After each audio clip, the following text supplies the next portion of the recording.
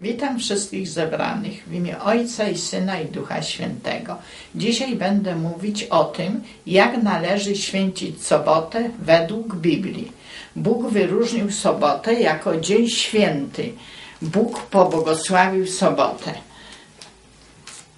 Pierwsza Mojżeszowa, rozdział drugi, werset 1 do 3.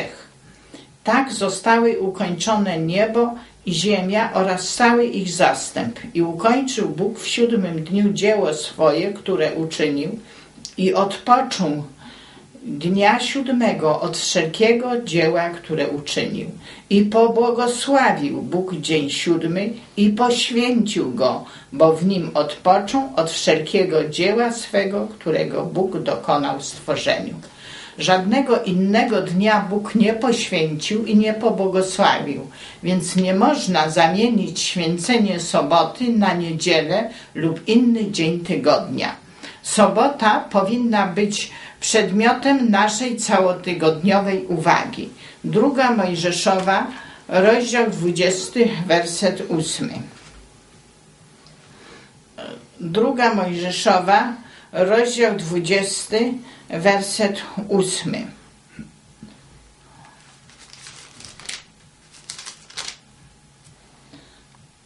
Pamiętaj o dniu sabatu, aby go święcić.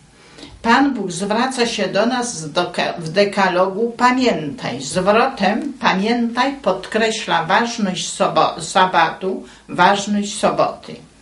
Piątek, dzień przygotowań do sabatu, do soboty. Łukasz, 20, rozdział 23, werset 54. Łukasz, rozdział 23, werset 54. A był to dzień przygotowania i nastawał sabat. Marka, rozdział 15, werset 42.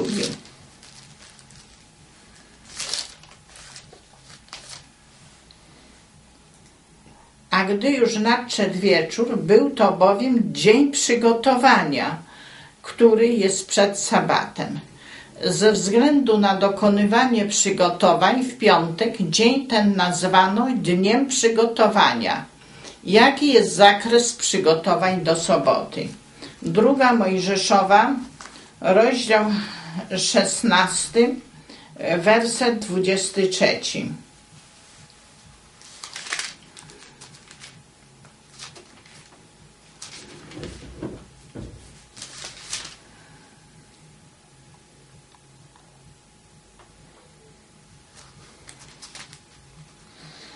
I rzekł do nich: To powiedział Pan.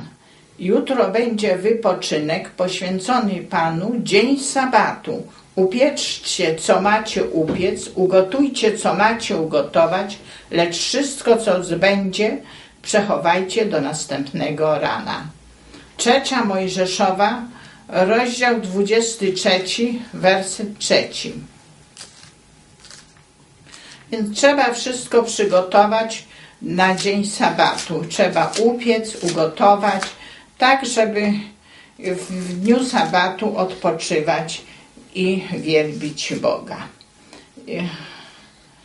Sześć dni będziesz wykonywał pracę, ale dnia siódmego będzie sabat, dzień całkowitego odpoczynku, uroczyście ogłoszone święto, żadnej pracy nie będziecie wykonywać. Jest to sabat Pana we wszystkich waszych siedzibach. Należy dokończyć pracę wykonywaną w sześciu dniach tygodnia. Należy przygotować posiłki, mieszkania, odzież na sobotę. W sobotę należy całkowicie odpoczywać. Święto, y, sobota jest świętem ustanowionym przez samego Pana Boga.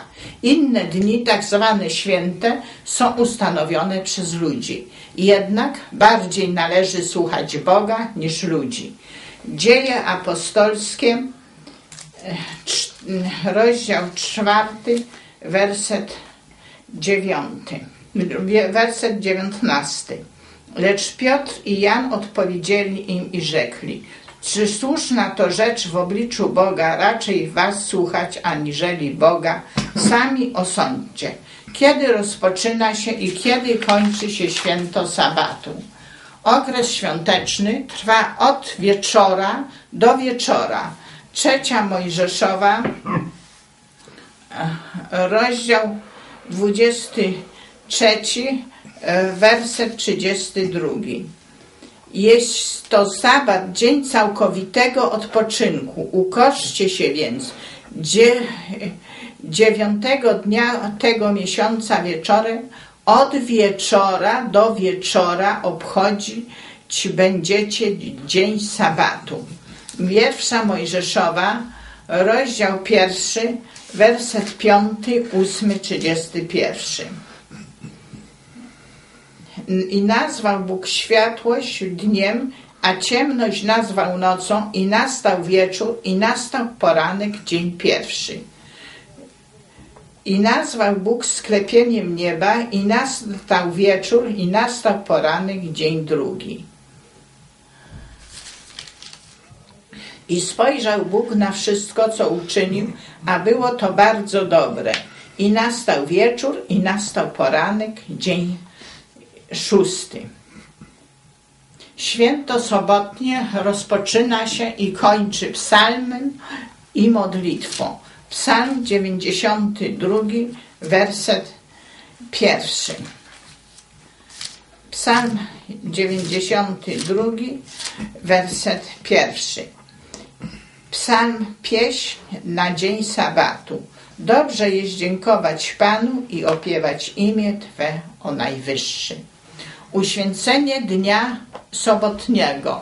Czynnościami zabronionymi są w sobotę tygodniowa praca, druga Mojżeszowa 20, werset 10. Nie.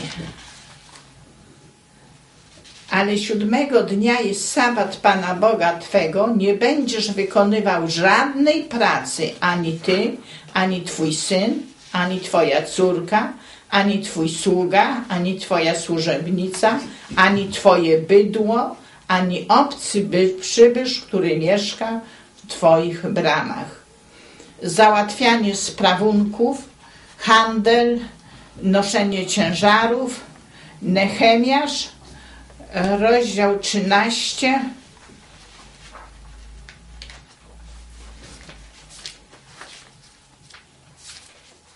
werset 15 do 22. W owych dniach stwierdziłem, że w Judei wytłaczano w sabat wino w tłoczniach i złożono snopy, nakładając je na osły, a także wino, winogrona, figi i wszelkie inne ciężary. I sprowadzano w dzień sabatu do Jeruzalemu. Ostrzegłem ich przeto, aby w tym dniu żywności nie sprzedawali. Handel jest zabroniony. Również Tyryjczycy, którzy w nim mieszkali, sprowadzali rybę i wszelki towar sprzedawali w sabat Judejczykom, także w Jeruzalemie. Zgromiłem tedy możnych Judei i powiedziałem do nich, co to za niegodziwa rzecz, której się dopuszczacie, znieważając dzień sabatu. Czy nie tak postępowali wasi ojcowie, za co wszak nasz Bóg sprowadził na nas całe to nieszczęście, a również na to miasto? Wy nie ściągacie jeszcze większy, wy zaś ściągacie jeszcze większy gniew na Izraela, znieważając sabat. Wydałem więc zarządzenie, że gdy w przeddzień sabatu będzie się ściemniać wokół bram jeruzalemskich, ma się zamknąć wrota. Nakazałem tak, żeby ich nie otwierano aż dopiero po sabacie.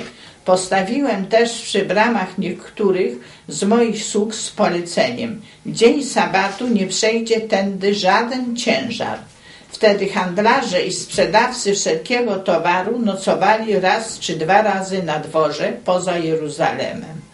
Zgromiłem ich więc, mówiąc do nich, dlaczego nocujecie tuż przed murem? Jeżeli się to jeszcze raz powtórzy, wezmę się do was. Od tego czasu nie przychodzili już sabat.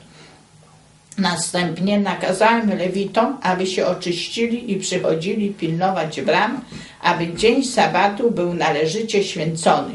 Również to zachowaj, należycie, zachowaj mi, Boże mój w pamięci i zmiłuj się nade mną według obfitości Twojej łaski.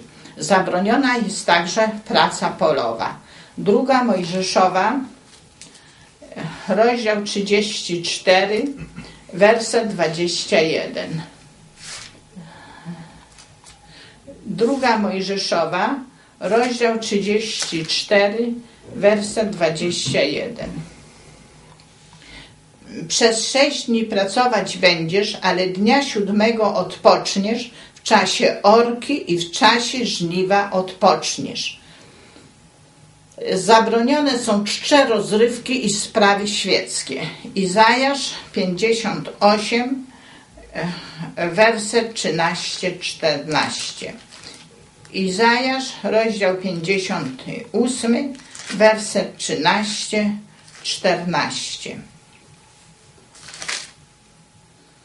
Jeżeli powstrzymasz swoją nogę od bezczyszczenia sabatu, aby załatwiać swoje sprawy w moim świętym dniu i będziesz nasywał sabat rozkoszą, a dzień poświęcony Panu godnym czci i uczcisz go nie odbywając w nim podróży, nie załatwiając swoich spraw i nie, nie prowadząc pustej rozmowy, wtedy będziesz się rozkoszował Panem, a ja sprawię, że wzniesiesz się ponad wyżyny ziemi i nakarmię cię dziedzictwem twojego ojca Jakuba, bo usta Pana to powiedziały. W sobotę wszystko jest zabronione, to co można wykonywać w innym czasie. Czynności dozwolone w sobotę. Służba Boża. Łukasz, rozdział 4, werset 16.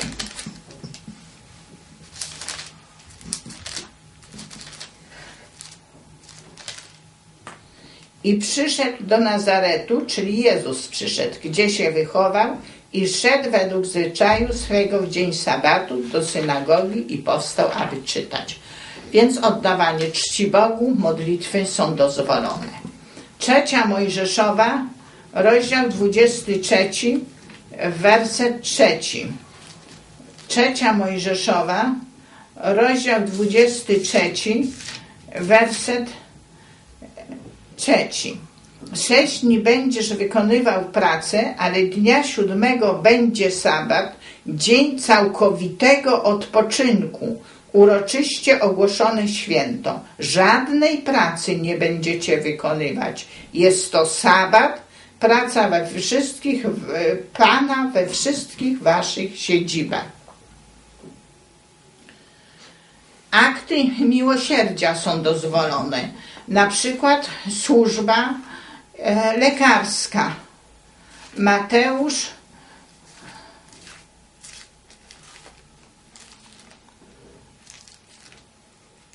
rozdział 12, werset 12. Mateusza, rozdział 12, werset 12.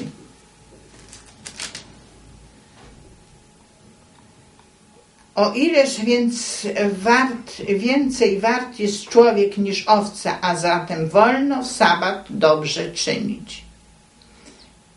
Czynności konieczne. Mateusza, rozdział 12, werset 11. A on im rzekł, Któż z was, mając jedną owcę, gdyby mu ta w sabat do dołu wpadła, to czy, nie, i czy jej nie pochwyci i nie wyciągnie?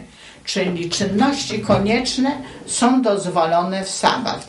Właściwie święcona sobota staje się radością i szczęściem. Izajasz, rozdział 58, werset 13-14 czyli jak święcimy sobotę, to, dostaje, to jesteśmy szczęśliwi i radośni. bo sobota dostarcza nam szczęścia i radości. Jeżeli powstrzymasz swoją nogę od bezczyszczenia sabatu, aby załatwić swoje sprawy w moim świętym dniu i będziesz nazywał sabat rozkoszą, a dzień poświęcony Panu godnym czci i uczcisz go nie odbywając nim podróży, nie załatwiając swoich spraw i nie prowadząc pustej rozmowy, wtedy będziesz się rozkoszował Panem i ja sprawię, że zniesiesz się ponad wyżyny ziemi i nakarmię cię dziedzictwem twojego ojca Jakuba, bo usta Pana to przyrzekły. Jeszcze dziedzictwo otrzymamy, e, które Bóg nam obiecał. Święcenie soboty przynosi nam błogosławieństwo Boże. E, Izajasz, rozdział 56, werset 1 do 7. Tak mówi Pan. Przestrzegajcie prawa i kierujcie się sprawiedliwością, gdyż bliskie jest nadejście mojego zbawienia i objawienia się mojej sprawiedliwości. Szczęśliwy człowiek, nie tylko Żyd, ale każdy człowiek, który to czyni i Syn Człowieczy, nie tylko Żyd, który się tego trzyma, który przestrzega sabatu, nie bezczeszcząc go i który szczerze swojej ręki, aby nie czyniła nic złego. Niech więc nie mówi cudzoziemiec, który przystał do Pana. Pan na pewno wykluczy mnie ze swojego ludu i niech nie mówi trzebieniec, patrzcie, jestem tylko uschłym drzewem, bo tak mówi Pan. Trzebieńcom, którzy przestrzegają sabatu i wybierają to, w czym mam upodobanie i trzymają się mojego przymierza, przyznam w moim domu i w obrębie moich murów miejsce i dam im imię lepsze niż mają synowie i córki, imię wieczne, które nie będzie starte. Cudzoziemców zaś, którzy przystali do Pana, aby Mu służyć i aby zmiłować imię Pana, być Jego sługami wszystkich, którzy przestrzegają sabatu, nie, bez, nie bezczeszcząc Go i trzymają się mojego przymierza. Wprowadzę na moją świętą górę i sprawię im radość w moim domu modlitwy.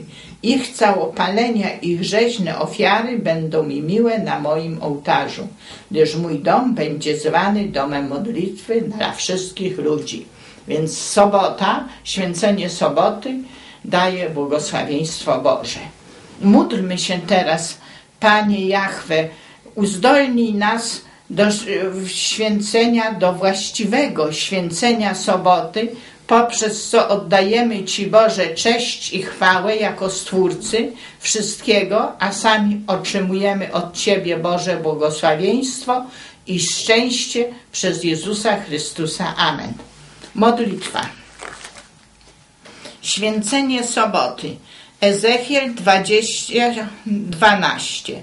Nadałem im również sabaty, aby były znakiem między mną a nimi, aby wiedzieli, że ja, Pan, jestem tym, który ich uświęca. Proszę Cię, Panie Boże Jahwe, Ojcze nasz, spraw, aby ludzkość zrozumiała ważność święcenia siódmego dnia tygodnia soboty. Dzień ten wskazuje na Boga Stwórcę, na fakt, że Pan Bóg stworzył niebo i ziemię i wszystko, co je wypełnia.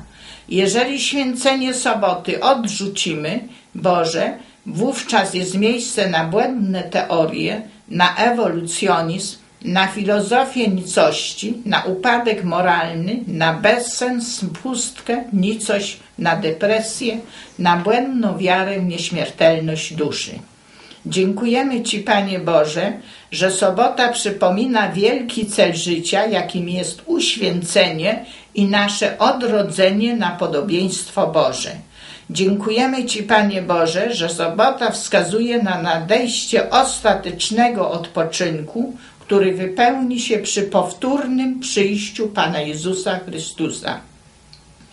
Dziękujemy Ci, Panie Boże, że święcenie soboty potraktowałeś o wszechmogący Boże jako znak między Tobą, Boże, a człowiekiem, jako pieczęć Boga żywego, którą Bóg pieczętuje czoła swoich wiernych przed swoim drugim przyjściem.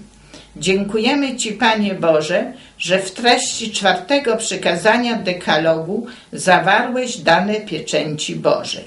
Prosimy Cię, Panie Boże Jahwe, Ojcze nas, przez Pana Jezusa Chrystusa, wylej na nas Ducha Świętego, który obdarzy nas mocą Bożą, uzdalniającą nas do święcenia siódmego dnia tygodnia, soboty, poprzez święcenie, której wielbimy Ciebie, Boże, jako Stwórcę i Pana Wszechświata. Amen.